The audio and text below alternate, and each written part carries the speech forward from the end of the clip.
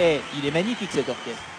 Nous, on est fans. Il est complet, il y en a partout. Il y a tous les, il y a tous les instruments. C'est un orchestre symphonique, donc, par définition. Non, mais il y a Tu tous les découvres la instruments. musique, Comme je suis un petit peu votre prince charmant ce soir, je vais en profiter et vous offrir cette chanson, vous dédier cette chanson que va nous interpréter tout de suite Ariel Dombal. Un jour, son prince viendra. C'est tout de suite.